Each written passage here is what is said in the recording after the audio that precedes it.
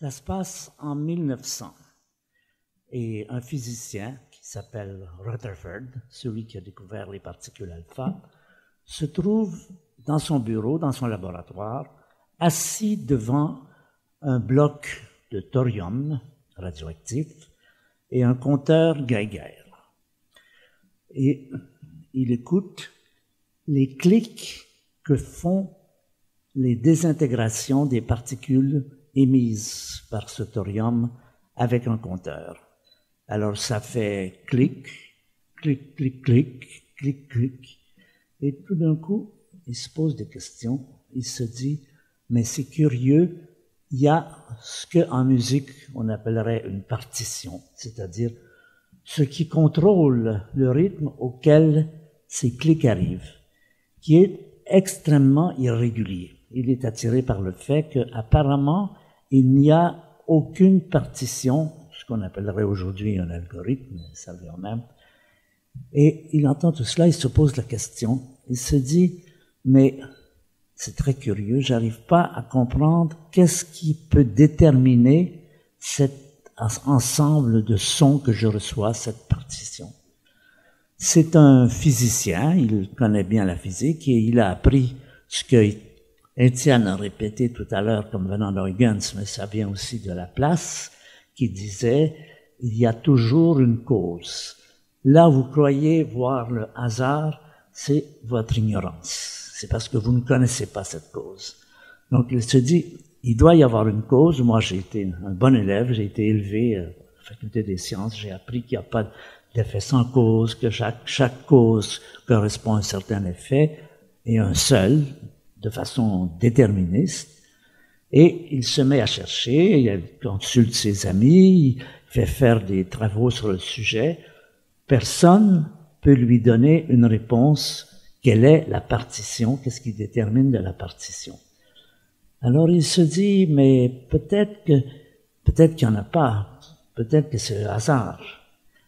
Mais il se dit, bon, c'est vrai que je ne trouve pas de hasard, mais on peut dire qu'à chaque fois que, quand on dit c'est le hasard, en fait, c'est qu'on est ignorant, on est ignorant.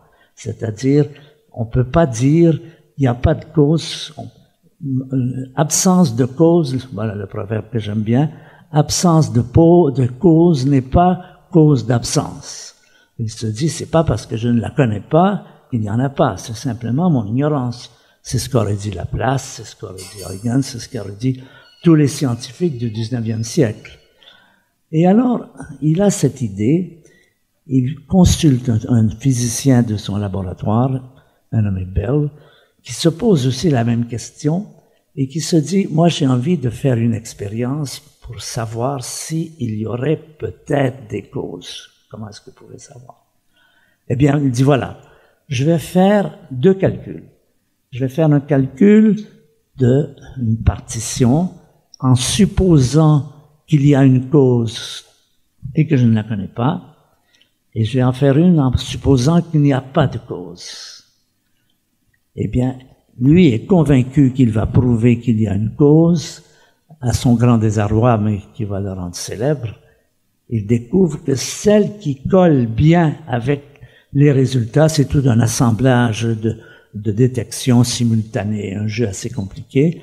Celle qui colle le mieux, c'est un peu ce que Étienne nous a promis tout à l'heure de vous dire plus tard. Bon, moi, je suis désolé, Étienne, je vais le dire maintenant le résultat qui marche de beaucoup le mieux, c'est celui dans lequel on dit qu'il n'y a pas de cause. Alors, bon, c'est pas si simple, est-ce que vous avez vraiment prouvé? Les discussions, ça c'est vrai, se poursuivent depuis toujours. Des gens inventent des scénarios le plus tordus possible pour dire oui, mais, oui, mais, on parle de non-localité, on parle de quantité de choses. Mais aujourd'hui, la communauté, après maintenant plusieurs, plusieurs décennies de cette situation, le fait que dans aucun cas on n'a été capable de trouver une raison qui soit de l'accord des spécialistes, parce qu'après tout la science c'est aussi beaucoup, c'est aussi un consensus. Qu'est-ce qu'on appelle la vérité en science? C'est ce dont la majorité des scientifiques pensent que c'est la bonne introduction, parce que vous pouvez toujours, vous êtes un peu tordu, trouver quelque chose qui soit du style oui mais, oui mais. Si bien qu'aujourd'hui, on peut dire il y a un accord, et d'ailleurs, plusieurs personnes l'ont mentionné tout à l'heure, notre ami des, sciences, chimistes euh, l'a dit tout à l'heure, il y a cet accord aujourd'hui chez les scientifiques. Est-ce que ça va durer? Est-ce que ça va demeurer? On ne sait pas, mais ça devient de plus en plus crédible, c'est-à-dire de plus en plus tordu d'avoir à trouver des raisons pour lesquelles il n'y aurait pas de cause, de sorte que le scientifique qui normalement aime les choses simples, admettent, prennent pour acquis, certains vont le marteler, d'autres vont dire oui, mais euh, la situation présente aujourd'hui, c'est il n'y a pas de cause. Alors, qu'est-ce que ça change? Qu'est-ce que ça change en cosmologie? Ben, Ça change énormément de choses. Si vous pensez qu'il y a des causes à tout, vous êtes d'accord avec Simon de Laplace qui disait sa fameuse phrase, un esprit qui connaîtrait toutes les sciences, toutes les causes, qui connaîtrait toutes les situations de toutes les particules dans le monde, pour lui, l'avenir serait connaissable. C'est-à-dire, l'avenir serait écrit. Et toute la question, c'est de savoir, est-ce que l'avenir est écrit? Parce que si vous voulez faire un modèle de cosmologie, ça change tout. Ou bien vous êtes dans la position d'Einstein. Einstein avait une curieuse position là-dessus. Il y a d'ailleurs un incident que je trouve assez troublant. Un jour, Einstein perd un de ses meilleurs amis, un ami Bessot, un ami qu'il aimait beaucoup. Et il écrit les choses suivantes à un autre ami en disant, je suis bien attristé de la, de la mort de M. Bessot, mais on peut se consoler en disant que vous et moi, nous savons que le présent, le passé et le, pas le présent, le passé et le futur sont des illusions. Ça veut dire qu'il acceptait totalement l'idée qu'il n'y a pas que tout est causé, ce qui, quand vous y pensez, a un impact fantastique. Ça veut dire qu'il n'y a jamais rien de nouveau dans le monde. Comment il peut y avoir du nouveau? Vous voyez très bien que c'est basé sur la physique, sur l'astronomie au départ. Euh, Newton fait cette fabuleuse découverte de la force de gravité. Il rencontre des planètes, des, orbites et tout cela. Et puis euh, se fiche dans l'idée des physiciens que comme les orbites planétaires, l'avenir est complètement déterminé, ce qui veut dire qu'il ne peut y avoir rien de nouveau? Il faut être logique. Si tout est causé, si tout a une cause et que ces causes existent dans quelque univers platonicien, comme on dit généralement, eh bien, c'est bien, bien sûr qu'il n'y a pas de rien de nouveau, donc il n'y a pas de créativité, il n'y a pas de diversité, et c'est ce qui donne ce qu'on a, a appelé après le nihilisme, que, que euh, comment s'appelle-t-il? Non, pas Schrödinger. Nietzsche, d'une part, qui a cette idée de l'éternel retour, cette idée de l'éternel retour. Schopenhauer aussi va dire euh, l'univers piétine depuis toujours, fait la même chose, et c'est pour ça qu'il recommande euh, la vie est inutile, etc. En fait, tout le nihilisme est basé là-dessus. Vous voyez, ça a un impact formidable sur toute l'évolution, sur toute la pensée scientifique. Si l'univers est écrit sur un grand livre par un Dieu quelconque qui aurait tout écrit parce qu'il connaîtrait toutes les forces et les positions, eh bien, il peut y avoir rien de nouveau.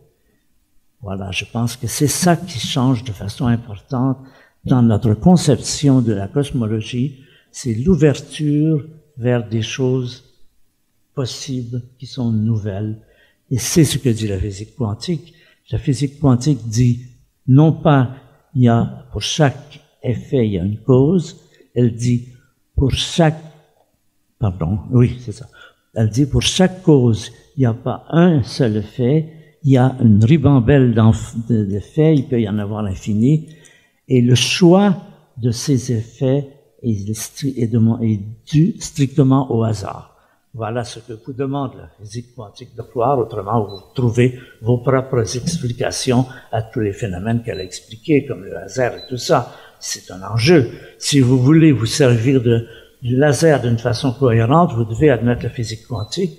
Si vous admettez la physique quantique, vous admettez qu'il peut y avoir du nouveau dans le monde ce qui soulage beaucoup les philosophes qui étaient coincés avec la liberté. Comment vous pouvez avoir une liberté si tout est, déterminé à l'avance? Si vous tuez quelqu'un et que le juge vous condamne, vous dites, ben, c'est pas ma faute, moi, c'est les causes.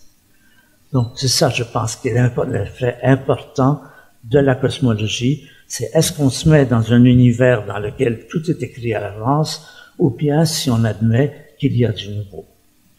Et je termine en disant, d'écrire une photo que j'aime bien, car je veux parler du hasard et de la nécessité, je montre des cristaux de neige. Les cristaux de neige, pour moi, j'ai une photo, je vais la compter, c'est un ensemble de cristaux de neige. Ces cristaux de neige, vous voyez qu'à la fois, ils obéissent à une nécessité, qui est d'avoir six pointes, mais en même temps, vous regardez, chaque cristal est différent. Vous apercevez que le nombre de, formes que vous pouvez créer avec l'idée de l'eau qui passe dans un nuage, c'est pratiquement infini. Et pour moi, c'est la très belle image de voir du fait que la réalité est déterminée. Il y a des causes, il y a des forces. Parce que si tout était au hasard, on n'aurait que dû fouiller. Si tout était dû, pardon, oui c'est ça, si tout était. Si tout était déterminé par des causes déterministes, on n'aurait que de la monotonie. C'est-à-dire, on se retrouvait dans le spectacle de, ce philosophe dont je vous ai parlé, c'est-à-dire euh, tourner, tourner, tournant, tourner.